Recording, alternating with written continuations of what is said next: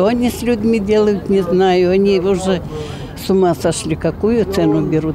Но я-то пользуюсь льготой за мужа, так я-то еще терплю. А другие бедствуют, а дочь моя бедствует и за воду, и за газ. Так много чего надо платить. Ціни на газ не зовсім влаштовують. Безумовно, все треба економити. Бо якщо не економиш, то тоді пенсії не хватить. Дай Боже, хоч би один з них прожив на цю пенсію. Бо це я не знаю, е, вроді вони на Луні, а ми на землі. Е, Ну я не розумію, не розумію, вони життя не знають чи що. Знизити ціну на газ вдвічі та відправити у відставку керівника Нафтогазу вимагає Олег Ляшко. Лідер радикальної партії переконаний, українці не зможуть оплачувати комуналку за новою ціною на газ у 12 тисяч гривень. Це інфляція, це зростання цін, це деіндустріалізація економіки, це збідніння українців. Оце мета МВ.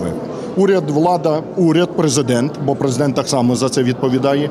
Президент Порошенко підписував меморандум, де брали зобов'язання про підвищення цін на газ і про продаж землі. Вони хочуть взяти кредит заради того, щоб далі грабувати людей. Ми проти цього. Ми стверджуємо, що є всі можливості знизити ціну на газ. Ціна на газ повинна бути справедлива.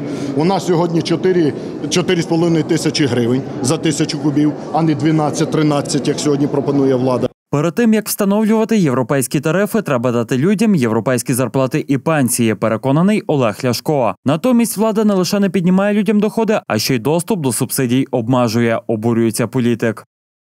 Мільйони людей не знають, чи будуть у них субсидії. Субсидії, понятно, що це погано. Але коли людина отримує мінімальну пенсію, мінімальну зарплату, субсидія це єдиний вихід для того, щоб не е, піти з просягнутою рукою. Олег Ляшко вимагає від Нафтогазу припинити наживатися на українцях. Чому Коболєв отримує по 3 мільйони гривень зарплати у місяць?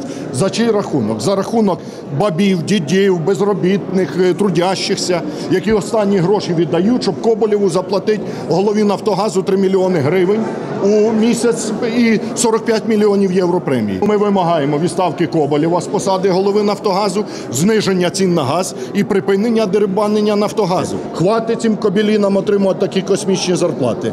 У відставку мають піти і не грабувати людей.